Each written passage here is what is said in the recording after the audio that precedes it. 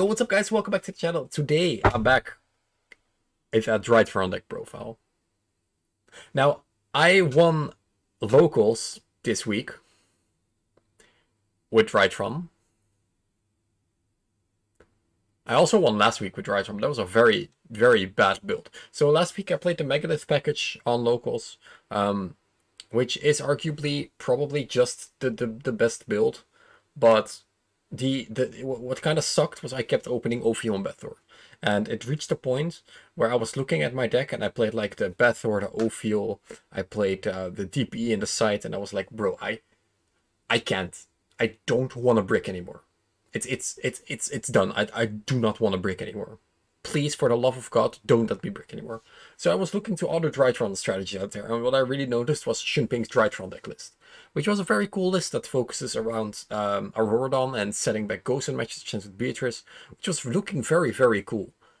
Also, it never combos, because your opponent always has a hand trap, so I was looking at that deck and I thought it was very cool, but after playtesting it for a while, I just really noticed this wasn't for me slash my area. But a uh, big shout out to Shumping, go check him out. His lists are always fire. He was the one that had the feature match at the YCS. Did some very cool stuff with the deck. So I was working on that list, um, and I basically said to myself, uh, what if we just do not have a win condition? And that's the Drytron list that I won with yesterday. So this is a Drytron list that um, I changed it a lot after yesterday, um, so this is not technically the local winning deck profile, so I added in a, a, couple of cards that are very impactful, but I'm gonna explain everything as I go, uh, but it's it's like a literal four card difference than what I was playing yesterday to kind of get a more better end board on the field, uh, because I was having some trouble with my turn one place, but this deck, first of all, to explain why it's so good, you can play all the power cards. You play droplets, you play talents. There's so much good stuff in this deck. Going second, you will easily destroy your opponent. You can just droplet make Zeus or um, just play through your opponent's stuff with the Drytrons itself. That that was the entire idea of the deck, why I still wanted to play it. It was really good. But the thing it was lacking yesterday was kind of a win con when going first. So I put in um, some cards you all might hate slash cancel me for but that's completely fine because, you know, it is still Drytron, we need a win con. So this is brickless Drytron while still playing a couple of bricks. But the deck works and it's really good. Trust me, source trust. This is not the this is not the best intro for a deck that I have ever given, but it's gonna be good enough. Let's go into the deck profile. I mean, you cannot really be less honest about something, you know, I, I can't tell you guys this is the best deck of the format. It's not the best deck of the format. Everybody runs a million hand traps. But you can make the list so that it runs a lot better against those decks. This is a list that, in my opinion, can easily top a YCS. Um, of course, I can just say that without any proof, um, so 1v1 me in the comments. But I do genuinely think that this deck is still very viable, and it's very cool to see cool, uh, great players like Shunping still play it. I just think that there's a lot of directions you need to go uh, in a slightly different direction. Before we go into the deck profile, I want to thank my sponsor Smart TCG for sending me this very nice Zeus placed field center. And uh, you might be wondering, okay, cool, it's a nice metal field center, but on the back it has an NFC chip. Now this is what you um, use your phone for to scan to pay uh, without you know having your own card to pay with your phone. You can write any code you want on this and like a website or uh, an image or a YouTube video, and your opponent can scan this uh, nice field center and they will link immediately to you. So it's very nice for you content creators if you want to link your YouTube channel, or it's very nice if you want to link your card market, for example, or your TCG market. Very, very solid. And first of all, it is beautiful and it is very nice. Uh, this one actually links to um, Rick Astley, Never Gonna Give You Up. So that's also something you can do just to put some inspiration in. And also, of course, big shout out to Dragon Shield, which is just the best the best. Look at how beautiful these sleeves are. They're so nice. I love Dragon Shield. Link to everything is in the description down below. Alright, so the Grand Reveal. Um, first of all, the spicy tech is Machine Angel Ascension, the new speed duel uh, skill. It's very good. I play this. Now, when in testing, this was proven to be super copium because it is only good if you have pre-prep and even then you only have two negates, but two negates is often very much enough, which is very nice, and it just gives for a lot of advantage. So I do play the pre-prep package with the Herald of the Perfection.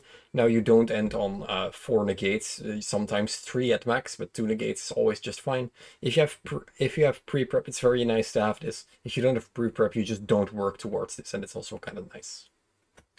So I wanted to play Meteonis Dracon. It's the reason why I wanted to cut him because it's kind of like a brick, but what is kind of nice about him is he's a machine and you can tribute him from Meteonis. And a lot of opponents don't expect it. Like you have a board, you activate Meteonis the, to ritual summon, then they activate uh, DPE pop your monster, or they activate Battle Butler pop your monster, and it's always a nice surprise to have this in your hand, even when you search it, because they're like, oh, you're still ritual summoning. I'm like, yeah, still ritual summoning. So I wanted to play him, and it's just it's such a strong monster. I play the Cyber Angel package, I play Idaten, Benten, and I also play Natasha. Reason why I also play Natasha, uh, even though I wanted to play less bricks, is I play triple pre-prep, and it often came up where I just didn't have preparation or, or didn't have any targets for preparation. And this was just really nice to have. Uh, sick card, very happy that I finally put it in after a couple of years without. Play triple diviner, play orange light. Um, yeah, this is just a one-off. You don't really want to open this at all. It's not a brick if you open it. it's general team of this deck profile has been set. This deck is good. Trust me, okay? Uh, this is really good. You can just search it in your combo. If you have any of your pieces already, you can just search this early with Benten and play around the Nip, because the deck does really die to Nip. And yeah, you can just search it later to have discard fodder for Herald of Perfection, which is just really nice. I like the Herald of Orange Light. Came up a lot of times where I searched this, got like Dark Rooted or Droplet, but still had a negate and our opponent couldn't play through it. Then, uh, some of the inspiration from Champing, not all of the inspiration. Now his deck is really focused on being very consistent with triple prepara or triple pot of prosperity. Now you all know that I really hate pot of prosperity, so I'm not playing that. But I did want to look at his ratios and try a little bit of something out, you know. So I play triple alpha, triple zeta, only two gamma, and then the two delta because I don't play prosperity. The delta becomes a lot better. Uh, and you're gonna see in the spell ratios that it's going to be very different as well from what you are used to. Very different, a little bit different. And then I play two other monsters. So what happened a lot was I ended on like two random monsters. I ended on like a, a Perfection and I ended on like a Draconis or an IP. And then I had just two random monsters on the field with, without any real use like a Linkuriboh or a Diviner. And I realized that I uh, could use those two monsters to make Verte. So, unfortunately, we are not playing Dasher and Celestial because I wanted to have another negate. So, yeah. I don't have an excuse. Uh, these are bricks. These weren't in the deck yesterday, but every time that I went first, it kind of felt like I wasn't really going anywhere. And just playing Verte really gives your deck a direction to go in. So I did want to put in these two bricks. Uh, next to that, all the other cards are kind of like just very fine to open, so that doesn't really matter at all. But I did really, really have to play these two because you can also play uh, Fusion Destiny if you really like to. I like the Dragoon for the extra negate, so you can end on a little bit more uh, something cool. And then we play this Red Eyes Fusion, of course, which is the first of the spells. And now I'm gonna shove away these to show all the spells. So I play Triple Nova, Double Emergency, the kind of I have a kind of idea about Yu-Gi-Oh right now and why a lot of people play 60 cards. So there's a lot of good cards in Yu-Gi-Oh right now. Uh, for example, if you look at the Sword Soul deck, Vessel is really good. You read uh, Circle Spheres is really good. Moye is really good. But if you open double Moye, double Vessel, double Spheres, it really sucks. So one of the reasons why a lot of people go to 60 is say so that they draw their bricks less and they draw uh, cards that are hard once per turn less twice. So Nova is obviously just fucking insane, being both a body and summoning any turn in the deck. Uh, this is nice because it adds any turn in the deck, but it is just once per turn. So I wanted to make a little room somewhere, so I cut the Gamma because it's like the worst and the best troll at the same time. Um, and then I also got one of the cyber emergencies down. This is what Shumping did in his list already, and I kind of like the idea, so I wanted to try out too, and so far I haven't really been, you know, uh, wasn't very bad or something. I still play the one Fafnir. You can cut this. We are already above 40. Uh, I like to play above 40 because we played it the room package. Um, you don't have to play Fafnir, but I kind of like it. it. If you open both, it's fine. You can just add the ritual spell. then we play triple prep, of course, for the Herald. Play uh, triple the other prep. You play one Dawn of the Herald for the ritual package. Then for the staples, you play triple triple Tacticalis. This card is insane. I don't understand why not a lot more people are playing this. Uh, triple Forbidden Droplets. Then we play one Meteor Drytron, one Foolish Burial, one Call by the Grave. I think this is 45, could be 46, not really sure. Because I added some cards last minute. Um, deck's just really straightforward in what it does right now. You just try to, uh, you know, open pre-prep. If you don't, that's fine. You just start ritual summoning, start making advantage with the Benten, and on like an IP and a Dragoon. Um, just go full in. It's it's it's super nice. So for the extra deck, I used to play the Chaos Fog as well, which is just an option, but we are very tight on extra deck space because what you can do with this is you can make Baronne de Fleur with uh, Viner, which is very, very nice. Uh, but I did want to make room for the Dragoon because I felt like it was a little bit more oppressive. Um, I kind of want to play both, but th there's a couple of things that we have to talk about. So Linkuriboh, of course, stays in. Um, this is a card you can swap out for Baronne if you have it, if you don't think that Dark is good. I like Dark in this deck because you could just make Linkuriboh with any Drytron, make Dark, steal their DPE, which did happen a lot of times yesterday. So Suffer really told me that I have to play Dark. I'm not really sure, so I'm gonna try this out, see if I miss a Baronne and maybe the, just the Baronne comes back, because this is not really a brick uh, in the first place. So yeah, play IP, because you end on uh, IP Verte, which makes Apollousa. Uh, Verte, I play Phoenix, play Unicorn. I was really adamant on playing both of these still. Just the co-link effects are just very nice. Apollousa is here.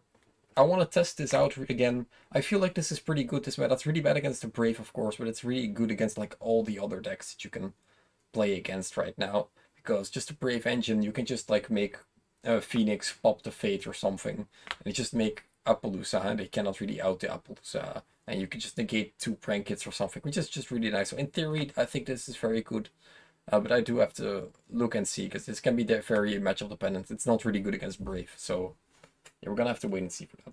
I played the Herald, I played this, I played the Goon, ready extra deck, Zeus, Beatrice, Downerd. Uh, still double with a bit of Fafnir. We were also talking about the Downerd, but it came up so many times where I went second. I just did like dropped it for two. Uh, like negate two monsters, make this, attack, make this, make Zeus, send once, they chain Imperm or Vader, chain another time. I don't know, I still like this card. You can also cut this if you are very confident that you do not need um, yeah, that, you do not need all these cards. So definitely what something that I still want to consider is the is the what's it called? The Baronne de Fleur, because I just really liked it. It was a really surprise factor because often you summon Valk and they just have no clue what you're doing and then you make Baronne and then it's already too late. So as for my side deck, play Duster, play one Collector because you play Beatrice, play Zombie World Banshee. This is just this is sick. This is sick. This is so good. I automatically won against Floowander because I opened this. with was so nice. One reboot, one Lancia because you can theoretically search it. Not really sure if it's the best. So a lot of one-offs. Triple Twin. I didn't want to play Triple Ruler because you could just make Zeus afterwards. And for this event I wanted to test Mystic Mine out. Now Mystic Mine also very bad against Brave, but you're not struggling that much against Brave anyway. And it's kind of a win con against certain other decks, or at least you can stall like a very very long to Mystic Mine, which is why I wanted to test it. It was it was okay. I decided it in a bunch yesterday, but I didn't play against um, that many Brave decks at all. Anyway, no changes in this in the side in the side deck for now.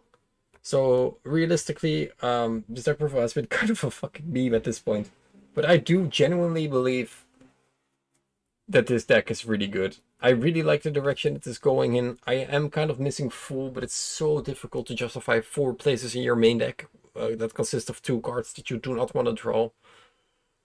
Man, that's just really harsh. Maybe eventually I'll go back to that. So far I've been liking the pre-prep package, but it only came up that I had this and this in my hand once. So maybe I'm just biased and haven't bricked enough. But I think that like playing the Dragoon really also, you know, it helps you because if you open two of these, you can just discard this for the Dragoon and it helps a lot for the IP, for the Phoenixes, etc. So, so far this is the deck list that I have been working on. A lot of progress in a very small amount of time. Um, yeah, big shout out to Shumping for the inspiration. Huge shout out to SufferYGO for helping me out. Links always in the description down below. Uh, yeah, thank you guys for watching. This has been the uh, 27th Drytron deck profile this year. See you guys in the next one. Bye, guys.